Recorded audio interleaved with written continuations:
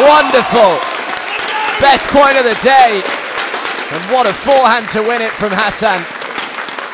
Doesn't get any better.